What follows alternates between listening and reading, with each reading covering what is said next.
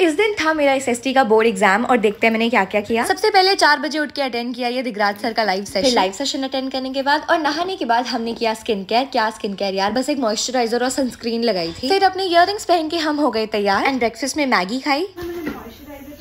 मम्मा फटाफट से भाग के सेंटर जाएँगे। डर लग रहा है। पढ़ाई की नहीं की फिर?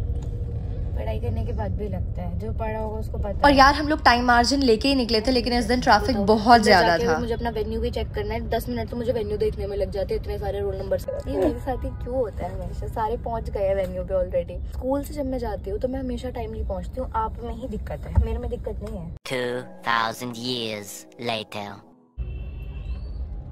बड़ी खुश है। पता है ऐसा मक्खन पेपर था ना एक घंटा पहले हो गया मेरा। पेपर एक घंटा पहले हो गया तो मैम और मैंने बहुत सारी बातें की फिर। मैम मेरे को थोड़ा बहुत मैम ये पूछ रही होगी यूट्यूब से पैसे कैसे आते हैं? कितने